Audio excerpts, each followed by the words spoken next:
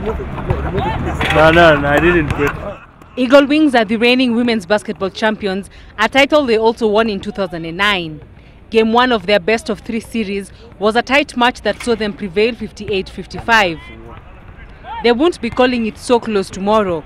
Captain Silale Shani says their strategy is to win by playing their game the best way they can. The team was in Abidjan, Cote d'Ivoire in October for the African Club Basketball Championship and it is the experience gained there and the abilities they will be banking on during game two. The gym is going to be packed, mostly with USIU fans.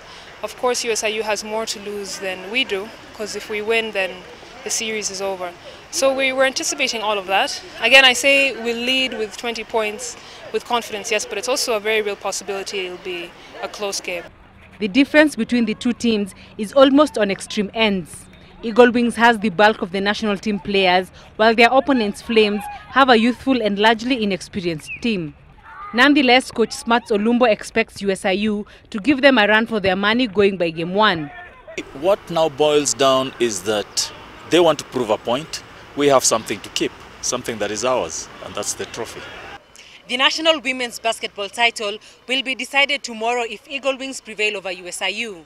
But if the opposite happens, then the national champion will be known after game three on Sunday. The Eagle Wings versus Flames match will be preceded by the Division 1 final between Nakuru Club and Nairobi Aviation. Defending men's champions Cooperative Bank play USIU men after the ladies match. Maureen Mwende, Citizen Sports.